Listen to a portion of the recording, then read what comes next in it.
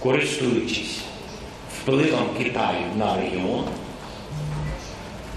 робить все, користуючись китайськими дипломатами також, робить все, щоб зірвати самі миру. 周日，乌克兰总统泽连斯基直言不讳地指责中共正在帮助俄罗斯向其他国家的领袖施压，阻止他们参加本月中旬即将在瑞士召开的和平峰会。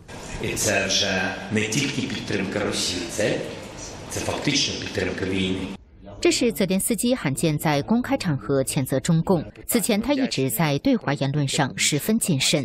泽连斯基还表示乌克兰情报部门的证据显示俄罗斯的武器中包含中共提供的零部件。他警告说由于中共对俄罗斯的支持战争将持续更长时间。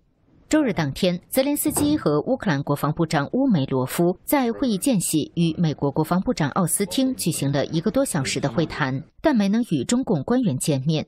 泽连斯基谴责中共曾多次拒绝与乌克兰官员会面。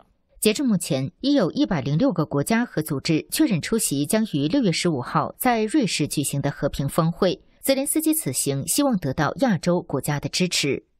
At the first summit, we will address three points. of the peace formula, nuclear security, food security, and, and the release of prisoners of war. And of course, of course, the Ukrainian children abducted by Russia.